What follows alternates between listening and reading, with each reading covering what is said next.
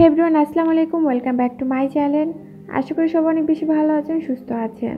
চলে আসলাম আজকে নতুন একটি ভিডিও নিয়ে। আই হোপ আপনাদের অনেক বেশি ভালো লাগবে। সো গাইস আজকে শেয়ার করব নর্মাল ডেলিভারি হওয়ার সব থেকে সহজ পাঁচটি লক্ষণ। যে লক্ষণগুলো আপনার মধ্যে থাকলে বা এই কাজগুলো আপনি করলে নর্মাল ডেলিভারি হওয়ার অনেক সহজ হয়ে যায়। সেগুলো আজকে আপনাদের সাথে আলোচনা করব। আই হোপ আপনাদের বেশি ভালো লাগবে।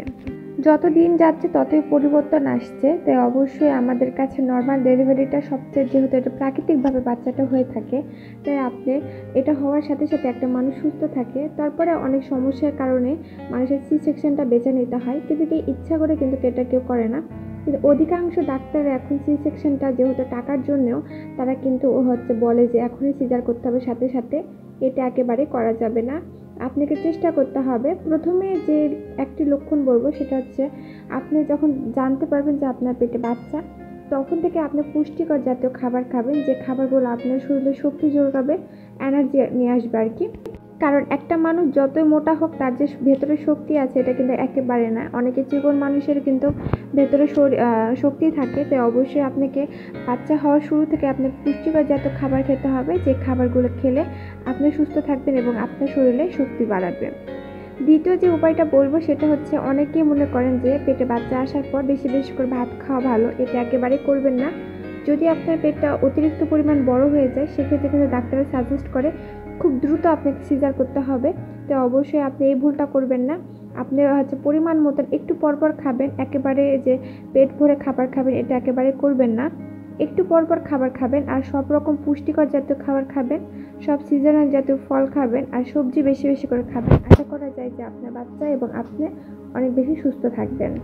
তিন নাম্বার যে টিপসটি বলব সেটা হচ্ছে আপনার শরীরে কোনো ব্লাড কমা যাবে না। যেহেতু আপনি নর্মাল ডেলিভারি ডেলিভারি চেষ্টাটা করবেন তাই আপনাকে একদম পরিপূর্ণভাবে আপনার শরীরে রক্ত রাখতে হবে।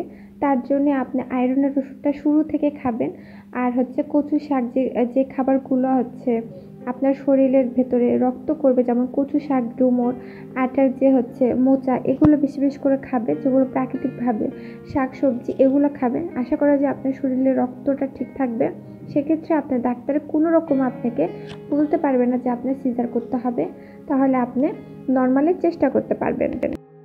এবার চার নম্বর টিপসটি বলব সেটা হচ্ছে, বাচ্চা অনেকে কি বাচ্চা পেটে আসার পর থেকে শুয়ে বসে থাকার চেষ্টা করে, এটা একেবারে করবেন না। যদি আপনারা নর্মাল ডেলিভারি হওয়ার চেষ্টা করতে থাকেন বা একজন সুস্থ মানুষ থাকার চেষ্টা করেন, কারণ একজন গর্ভবতী, পুরো নয় মাস জুড়ে যেহেতু পেটের ভেতরে একটা বাচ্চা বড় করবে, তাই তার সুস্থটা সব থেকে বড় কথা।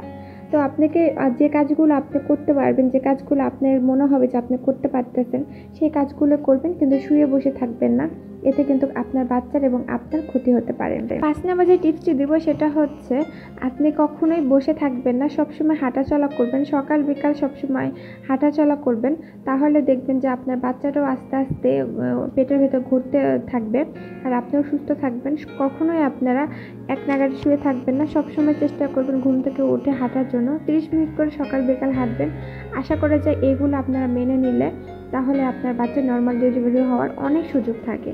আই হোপ আপনাদের ভিডিওটি ভালো লেগেছে। ভালো লাগা অবশ্যই লাইক কমেন্ট অ্যান্ড শেয়ার দিন সাবস্ক্রাইব